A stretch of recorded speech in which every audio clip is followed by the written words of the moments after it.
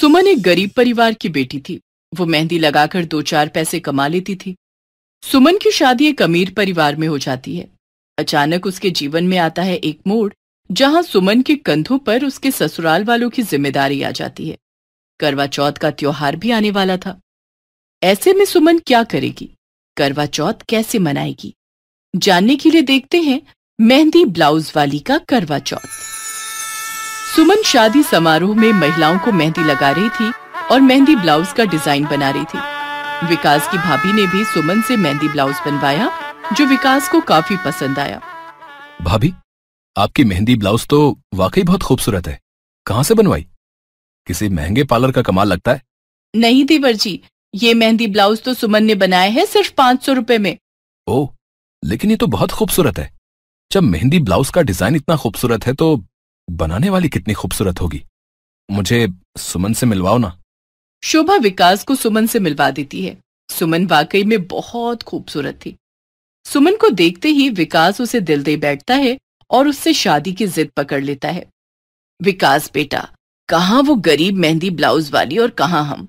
उनसे हमारा रिश्ता जोड़ना ठीक नहीं। सोसाइटी के लोग क्या कहेंगे? सोसाइटी के लोग कुछ नहीं कहेंगे माँ। तुम बस मेरी शादी सुमन से करवा दो। मैं उसे हमारे तौर तरीके सिखा दूँगा। विकास की जिद के आगे निर्मति को झुकना पड़ा और गरीब मेहंदी ब्लाउज वाली सुमन की शादी विकास के साथ हो जाती है।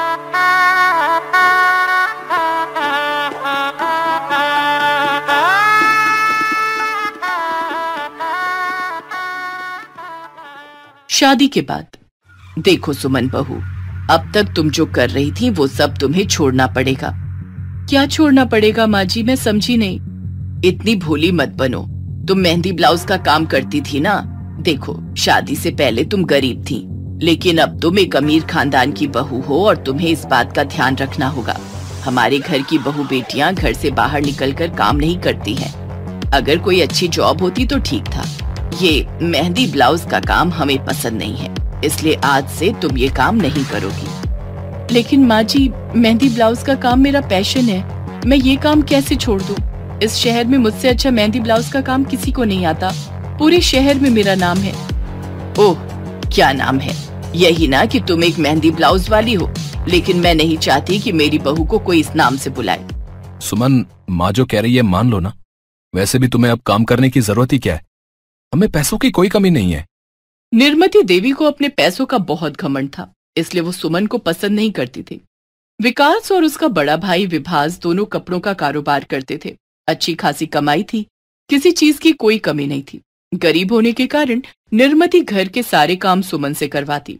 घर में बड़ी बहू शोभा भी थी, लेकिन वो घर का कोई काम नहीं करती थी। धीरे धीरे दिन बीत रहे थे। एक दिन, सुमन बहू, कल गाँव से मेरे भैया और भाभी आ रहे हैं। करवा चौथ का त्योहार आ रहा है भाभी हर साल करवा चौथ यही मनाती हैं। जी माँ जी, मैं उनका पूरा ध्यान रखूँगी। इस बार हम सब मिलकर करवा चौथ मनाएँगे। दूसरे दिन निर्मति के भैया और भाभी गाँव से आते हैं। आओ आओ भैया, कैसे हो? गाँव में सब ठीक तो है?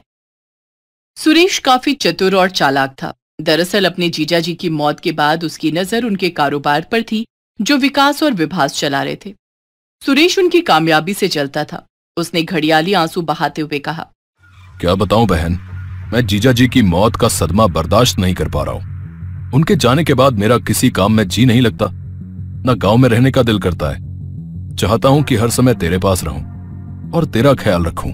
ये तो बहुत खुशी की बात है कि तुम मेरी इतनी फ़िक्र करते हो। लेकिन तेरे साथ हमेशा रह तो नहीं सकता ना। क्यों नहीं रह सकते? आज से तुम और भाभी मेरे पास ही रहोगे हमेशा के लिए। पहले विभास और विकास से तो पूछ लो। अरे, उनसे क्या पूछना? वो तो वही करेंगे जो मैं कहूँगी। सुरेश की पत्नी कविता भी बड़ी चालाक थी। दोनों पति पत्नी अब सुमन के ससुराल में जम गए। धीरे धीरे कविता ने घर की रसोई पर अपना कब्जा जमा लिया। घर में किस वक्त क्या बनेगा, वो कविता ही तय करती, लेकिन काम सुमन करती। उधर मामा होने का फ़ायदा उठाते हुए सुरेश ने कारोबार पर कब्जा करना शुरू कर दिया। वो तो विभास और विकास का बॉस बन बैठा। अब ऑफ़िस के सारे कर्मचारी मामा जी के कहने पर ही कुछ काम करते। विभास और विकास का कारोबार निर्मति के नाम पर था। सुरेश ने इसका फ़ायदा उठाते हुए कई ब्लैंक चेक निर्मति से साइन करा लिए। निर्मति ये दस लाख का चेक साइन कर दो क्लाइंट को पैसे पहुँचाने। हाँ हाँ भैया कहाँ साइन करना है? यहाँ पर हाँ। निर्मति ने साइन कर दिया।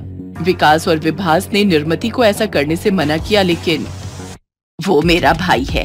वो जो कर रहा है हमारे भले के लिए ही कर रहा है बेटे। तुम लोग खामखा ही उस पर शक कर रहे हो। माँ हम मामा जी पर शक नहीं कर रहे हम तो बस इतना कह रहे हैं कि ब्लैंक चेक पर साइन करने से पहले एक बार हमसे पूछ तो लिया करो। बस विभास मुझे किसी से कुछ पूछने की ज़रूरत नहीं है। वो मेरे पैसे हैं। मैं चाहे जहाँ खर्च करूँ। निर्मति की ऐसी हरकत से विकास और विभास दोनों परेशान रहने लगे। विकास आपको माँ जी से सीधे सीधे ऐसा नहीं कहना चाहिए। आप लोग कोई और रास्ता क्यों नहीं निकालते जिससे सांप भी मर जाए और लाठी भी ना टूटे? जब तक हम ऐसा करेंगे सुरेश मामा न जाने क्या कर चुके होंगे। उन्होंने पहले ही कंपनी का बहुत नुकसान कर दिया है लेकिन माँ है कि कुछ सुनने को तैयार नहीं है। इस मुसीबत से निकलने के लिए कोई ना कोई रास्ता ज़रूर निकल आएगा। लेकिन सुरेश ने कई बार ब्लैंक चेक साइन करवाकर एक दिन कंपनी का अकाउंट खाली कर दिया और उसके बाद माँ मामा और मामी घर में दिखाई नहीं दे रहे दोनों कहाँ गए होंगे? यहीं कहीं घूमने गए होंगे आ जाएँगे। वो दोनों अब कभी नहीं आएँगे। तू ऐसा क्यों कह रहा है विभास बेटे?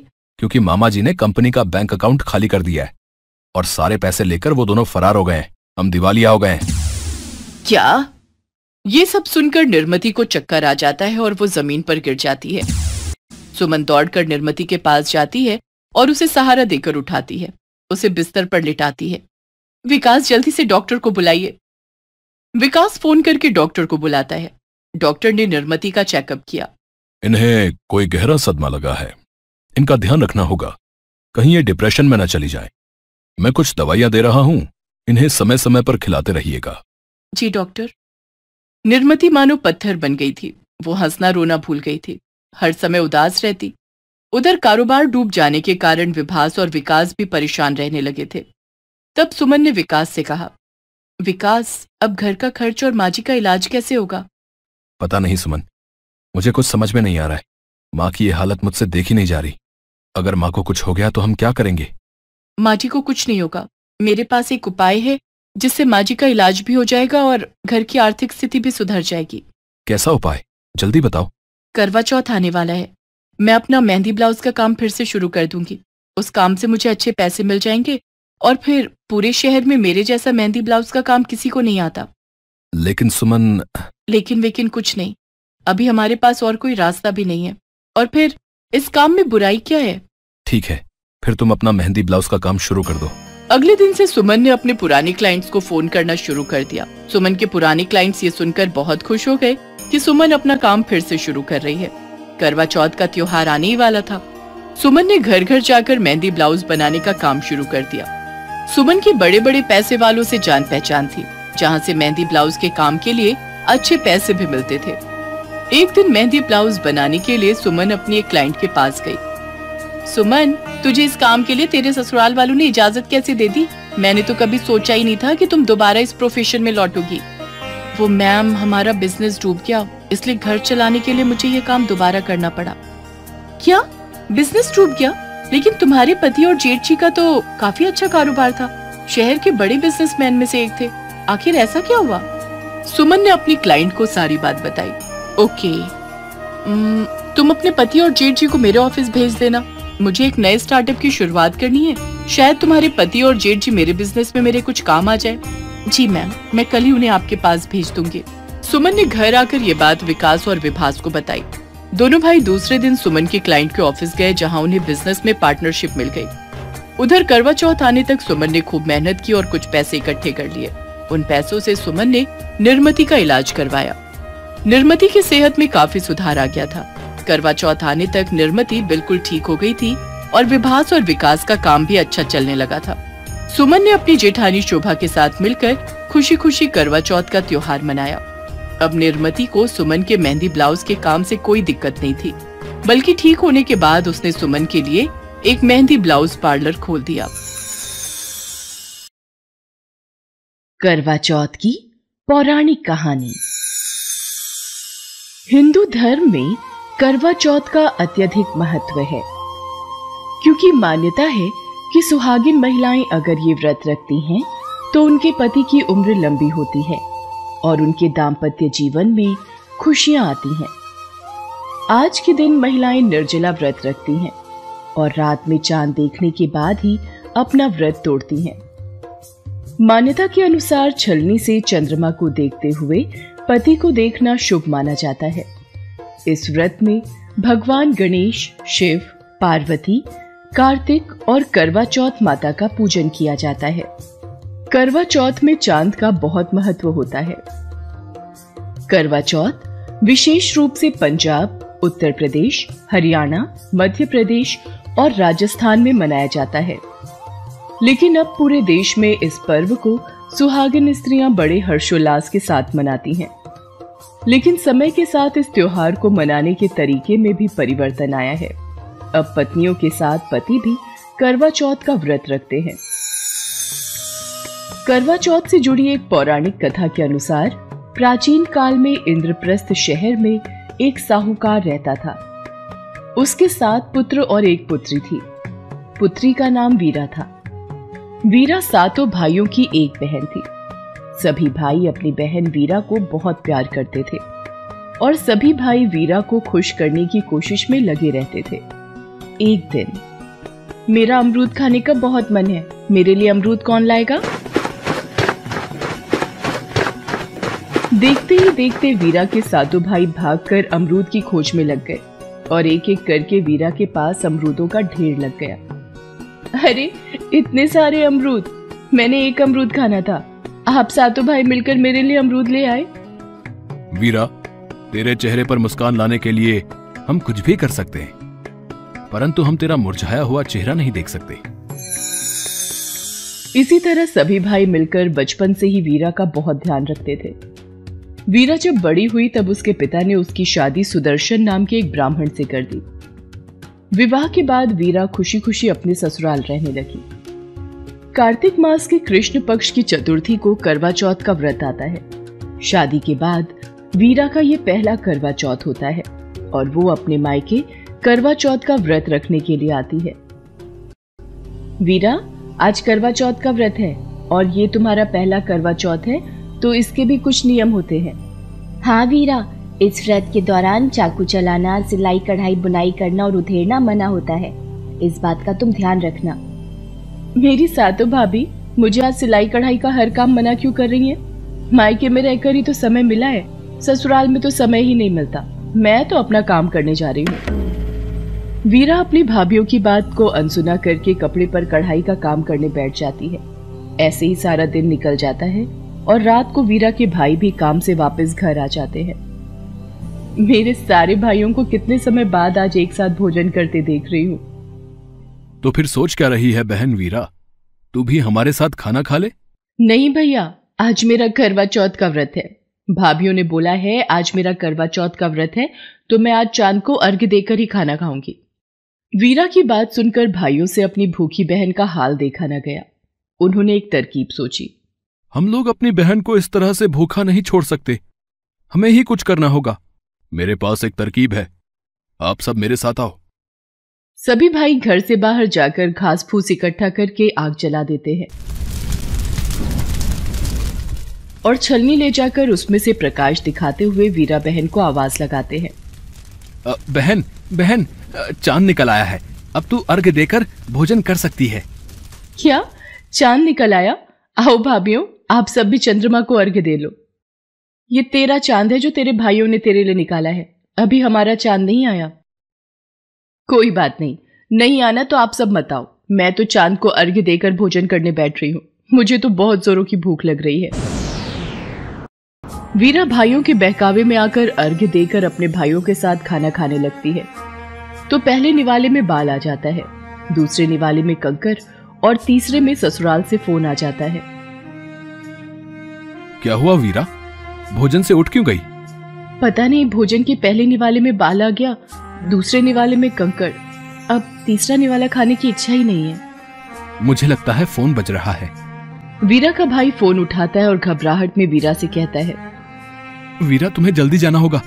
दामाद जी की तबीयत अचानक बिगड़ गई है। मैं तभी बोल रही थी वीरा कि अपना करवा चौथ का व्रत खंडित मत कर। अपने भाइयों की बातों में मत आओ पर तुमने हमारी एक नहीं सुनी। अरे अब बस भी करो। उसकी हालत तो देखो पहले। उसे ससुराल पहुँचने तो दो। पता नहीं दामाद जी की तबीयत को अचानक क्या हो गया। वीरा रोती रोती अपने ससुराल वापस चली जाती है। जब वीरा ससुराल पहुँचती है तो देखती है, उसका पति पूरी तरह से पत्थर बना होता है।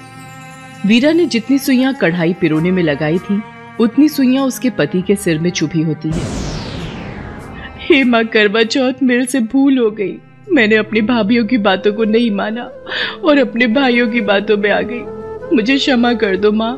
स्वामी मैं आपको कुछ नहीं होने दूँगी। मेरी गलती की सजा आपको नहीं मिलेगी। मैं आपको ठीक करूँगी चाहे मुझे कितना भी वक्त लग जाए। मेरा वादा है। वीरा इन सब बातों का कारण हम भाई ही हैं। पर तू ये कठिन कार्य कैसे करेगी? मुझे मुझे माँ करवा चौथ पर विश्वास है। वो मेरी पुकार ज़रूर सुनेंगी और मेरे पति को ठीक कर देगी। करवा चौथ माता तो ममता की देवी है, इसलिए वो मेरा साथ ज़रूर देंगी और वही मुझे हिम्मत देंगी। वीरा के भाई उसे आशीर्वाद देकर वापस चले जाते हैं। वीरा को अपनी गलती का एहसास होता है और वो अपने पति के सिर में से उन सुइयों को हर रोज निकालती। इस तरह पूरा साल बीत जाता है और अगले साल फिर करवा चौथ का व्रत आता है। वीरा फिर सभी रीति रिवाज के साथ व्रत रखती है। वो जब अपने पति का सिर गोदी में रखकर सुइया निकाल रही होती है, तब बाहर करवे बेचने वाला आता है। लगता है करवे बेचने वाला आया है। गोली, तुम इनका ध्यान रखना, मैं बाहर से करवा खरीद कर आती हूँ। वीरा बाहर करवे खरीदने चली जाती है। गोली सुदर्शन के सिर को गोद में लेकर बैठ जाती है, पर उसके मन में खोट घर कर लेता है।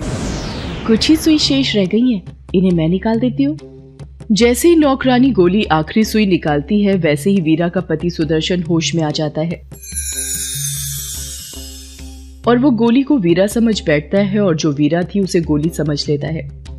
इस तरह जो वीरा थी वो गोली बन गई और जो गोली थी वो वीरा बन गई, पर वीरा चुप रहती है और उस वक्त अपने पति से कुछ नहीं कहती। मेरे पति ठीक हो गए, मुझे और कुछ भी नहीं चाहिए। कोई बात नहीं, अगर वे मुझे भूल गए हैं, एक दिन इनको सब कुछ याद आ जाएगा। ये मेरा विश्वास है और गोली का झूठ सामने आ जाएगा। यदि मैंने इस वक्त इन्हें कुछ कहा तो इनकी तबीयत और न खराब हो जाए। मुझे चुप रहना होगा। इस तरह वीरा नौकरानी बनकर गोली की जगह वहाँ रहने लगती है और गोली वीरा बनकर। एक दिन सुदर्शन को किसी काम से बाहर जाना पड़ता है तो वो गोली जो कि वीरा बनी थी उससे पूछता है। वीरा तुम्हारे लिए क्या लाऊं? मेरे लिए बाज़ार से हार श्रृंगार लेकर आना। साहब मेरे लिए एक काट की गुड़िया लेकर आ सकते हैं? आपकी बड़ी मेहरबानी होगी। हाँ हाँ गोली। तुम हमारे घर में बहुत पुरानी नौकरानी हो। मैं तुम्हारे लिए काट की गुड़िया ले आऊँगा। इस तरह सुदर्शन जब बाहर जाता है तो बाज़ार से एक गुड़िया और हार श्रृंगार का सामान लेकर आता है और दोनों को दे देता है। इस तरह वीरा जो की गोली बनी होती है वो हर रोज अपने कमरे में काठ की गुड़िया से बातें किया करती थी। जो वीरा थी वो गोली बन गई। और जो गोली थी वो वीरा बन गई। गोली ये तुम रोज़ाना क्या बोलती रहती हो? नहीं साहब मैं तो बस ऐसे ही। यदि तुम मुझे सच नहीं बताओगी कि तुम्हारे मन में क्या चल रहा है तो तुम मेरी तलवार की धार को जानती हो। नहीं नहीं आप क्रोधित मत होइए। क्रोध में आना आपकी सेहत के लिए हानिकारक है। मैं आपको सच बताती हूँ। वीरा जो की गोली बनी होती है वो सुदर्शन को सारी सच्चाई बता देती है। तब सुदर्शन को भी सारा कुछ याद आ जाता है। फिर सुदर्शन गोली जो की रानी बनी होती है, उसे घर से बाहर निकाल देता है। वीरा को अपने पति के लिए अटूट प्रेम का फल प्राप्त हो जाता है और उस दिन के बाद से वीरा हर वर्ष पूरे विधि विधान से करवा चौथ का व्रत रखती है। भाई भाभीियों के आशीर्वाद से और माँ करवा चौथ की कृपा से वीरा अपने पति सुदर्शन के साथ फिर से खुशी खुशी सुखमय जीवन यापन करने लगती है।